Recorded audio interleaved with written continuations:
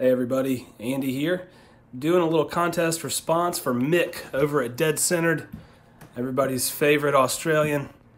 And uh, it's Veterans Day here in the States, Mick, so I decided to take a little footage of the Veterans Day parade downtown today while I was at work.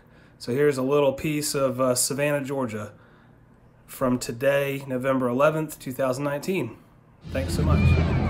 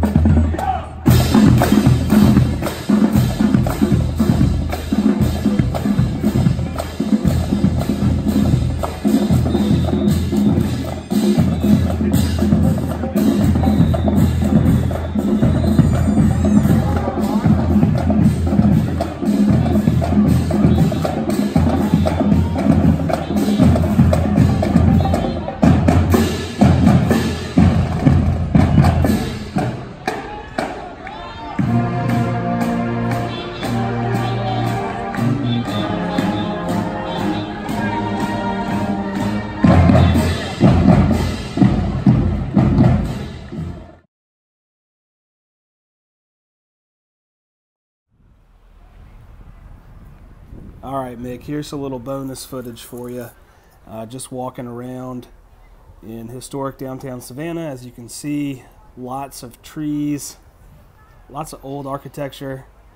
And right here is a, a statue of the man who founded Savannah. It's General James Oglethorpe, circa, uh, excuse me, 1733.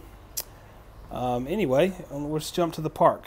Here in Forsyth Park, we've got a Confederate Veterans uh, Memorial. And we've got a 120 something year old fountain modeled after one in Paris.